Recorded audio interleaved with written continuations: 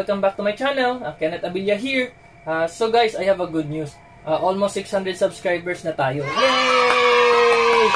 5 more to go. Magsi 600 na. Uh, maraming salamat guys uh, sa sa pagsuporta dito sa channel na to kahit less na naman pa lang ako dito sa YouTube. Uh, I will try my very best uh, to give you uh, quality content. And also, if you have any suggestion, please comment it down below. So guys, kung napansin nyo sa mga previous videos natin, uh, di masyadong modulated yung boses ko since we were only using our smart smartphones uh, built-in na mic. So I decided to do a little upgrade on our audio side for a bit of a better audio experience for you guys. So for today's video, as you can see, we went out to get this Boya BY-M1 lavalier mic or lapel mic. I have been seeing lots of reviews on this lavalier mic online and other YouTube videos. Uh, I have noticed guys that a lot of just starting YouTubers are using this Boya mic. Since it, since it pretty much do its job daw uh, as a mic and the price is really not that bad at all. Uh, sobrang mura niya, sobrang affordable. So I will have to test it myself and I will try to give you my most honest opinion on this guys. So let's see if it actually does give us a better audio. By the way guys, uh, nabili ko siya sa PRG Photoshop. Uh, if you are in need of any camera related stuff, uh, you can check them out at Raintree Mall Mango. Or you can also get this one online through Lazada. Uh, I will put the link in the description down below. So going back, uh, I got this for a retail price of 650 pesos. So there's actually two kinds of this lavalier mic guys. There's also a BYM1 dual lav mic. Uh, yun, yun, yun yung dalawa ang mic and this one. Uh, this is the regular BY-M1 omnidirectional lav mic. Uh, ito yung isa lang ang mic. Uh, ito yung binili ko since ito lang din naman ang need ko for our usual setting. So this is the box and this is the brand uh, Boya uh, lavalier microphone and sabi dito guys uh, superb sound presentations and video recording.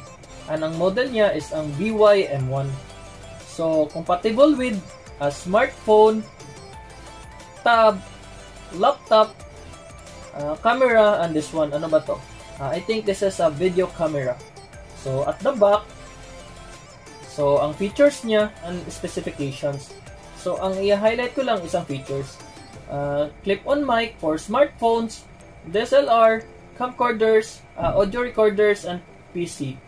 So, ang sabi din dito guys, uh, includes lapel clip, LR44 battery, foam windscreen, and 1 4 phone and 1 4 adapter. So this is what's inside the box. Um, may silicone gel, manual booklet, warranty card, big malaki na jack, foam windscreen, lapel clip, LR44 na battery, and pouch. So this is the lapel mic. So this so mahaba yung wire niya guys. Ah sabi ng store attendant mga 6 meters daw yung haba nito. So this is the switch. If you are using camera, uh, switch up and if you are using your smart smartphone, switch down. So kung gusto niyo nyo, nyo i-off dito sa gitna. So, to, this is where you put your battery. Ito guys. So, ito. Dito nyo ipapasok yung battery. So, guys, konting tip lang. If ever maglagay kayo ng battery, be sure yung tela dito nasa loob. Kasi if ever magpapalit na kayo ng battery, uh, ipupull nyo lang to para makuha na yung battery. Okay? So, dito naman may nakalagay uh, positive tsaka negative. So, dito naman sa battery, may negative na nakalagay. So, dito na side yung positive.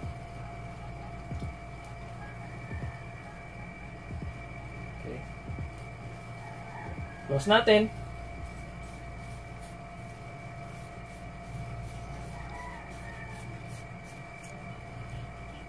So, i-assemble natin. Uh, by the way, this is the 3.5 jack. So, lagay natin yung foam windscreen dito. Tsaka yung lapel clip. Ah, wait. Dito. Ah, dito. Ganito. Then foam windscreen.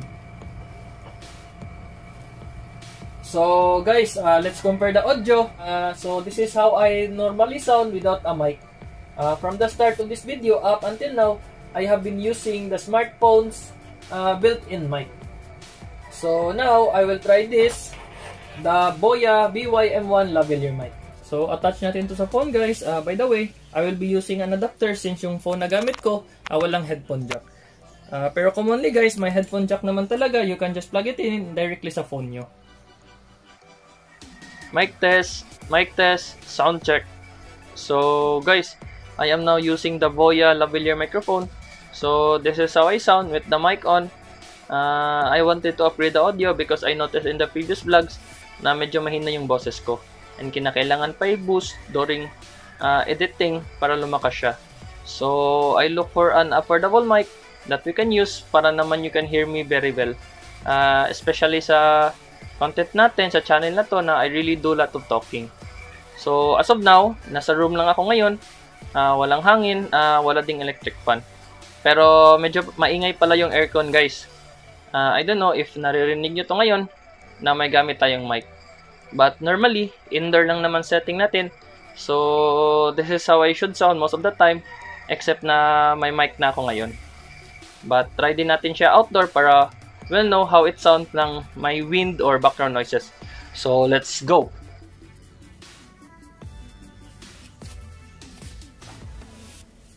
So guys, uh, nasa labas na tayo.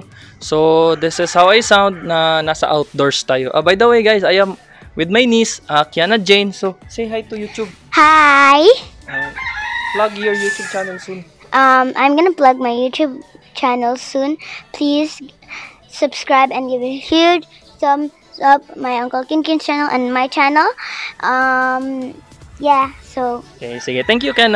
So guys, as you can see, uh, medyo lumayo ako sa phone to let you see gano kahaba ang wire, gano kahaba ang wire ng BYM1 lapel mic natin. So, so, so guys, or may difference ba sa audio if malapit or malayo? So, tara, pasok na tayo. So guys, uh, we're back inside at pinakinggan ko na rin yung video clips wherein we were using a mic and the ones na without. So, I'd say it's pretty obvious naman na nag-improve yung audio natin. Uh, nawala niya nawala niya yung mga unnecessary uh, background noises. So, mas naging mas klaro at lumakas yung boses ko. Uh, compared doon sa wala tayong gamit na mic. And also, advantage din ng may mic kasi is if malayo ka sa camera mo, di nagbabago uh, yung volume ng boses mo. So, for me guys, uh, solid na din siya for its price, lalo na pagbaguhan or starting ka pa lang sa YouTube like me. So, kayo guys, what do you think? Maganda ba siya or may improvement ba sa audio? Let me know, comment down below, and kung ano sa tingin nyo. Hopefully, this content was helpful sa inyo. And if it was, then hit the like button and please subscribe. I'll catch you in the next video. Peace! my channel. It's me, Counter JNC Abelia. So let's. Well, say hi first. Say hi. Say hi. Say hi. hi.